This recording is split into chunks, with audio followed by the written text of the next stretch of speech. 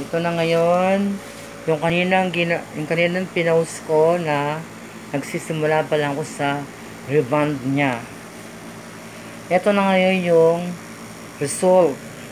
Silk. Soft.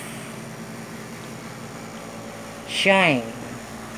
Ito na ngayon yung result ng ginawa kong rebanding today. Tapos, kumakan mo, check mo.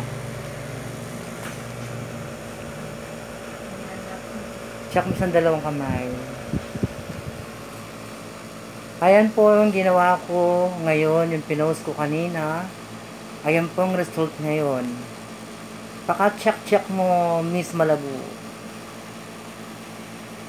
Ayan po yung gawa ko ngayon today. Pin-highlights ko rin siya at the same time. Ayan po yung gawa ko ngayon. Finished product. Finished na po.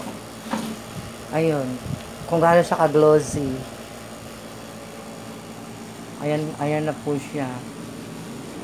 Pin-highlights ko siyang very light.